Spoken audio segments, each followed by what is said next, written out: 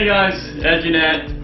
I'm in my kitchen and I'm putting together um, some bags uh, for showings for buyers when they go out and look at houses. Because one of the biggest things that people have told me is um, are concerns people ask and questions about, you know, what are we doing to keep people safe when we're showing houses, when we're going into people's houses.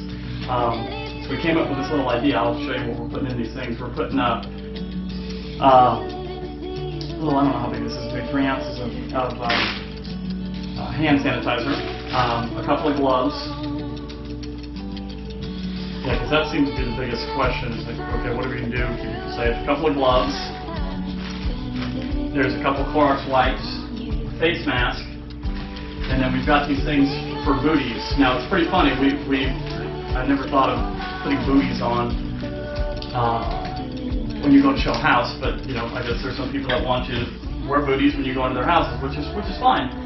Uh, we you know, we had a showing the other day, and I think the couple who owned the house, they had their house listed. It was um, they were in their 80s, so they were gracious enough to let us show it, but they made us wear gloves, use hand sanitizer, and wear these little booty things. So, but anyway, so each one of these is going to get a hand sanitizer, the booty things, a pair of gloves,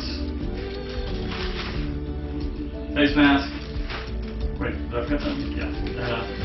The, the Clorox wipes are just to wipe your hands when you're done, to wipe doorknobs, whatever. So you have them on you, you know. Uh, but anyway, that's the little buyer safety kit. So when we take people around to show show houses, um, you know, people are still buying houses. We're actually kind of busy, which is which is an unbelievable blessing.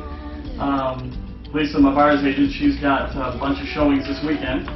And I figured that, you know, if, if, if you want it, we've got it. If you don't want to use it, great, you got it anyway. All right? So anyway, if uh, you want to go out and look at a house, um, give us a call. We'll give you one of our little buyer safety kits. Um, help you stay safe during the coronavirus because, like I say, regardless of virus or not virus or Christmas or Thanksgiving or summertime or springtime, everybody needs a roof over their head. So um, it's always a good time to buy a house. And listen, um, I don't know if you know this, I'm going to do another video and another blog on, I've been interviewing and talking to a bunch of um, uh, mortgage brokers in town. And I got an email from one of them the other day, and he has a rate that's 2.5% on a 30-year fix conventional.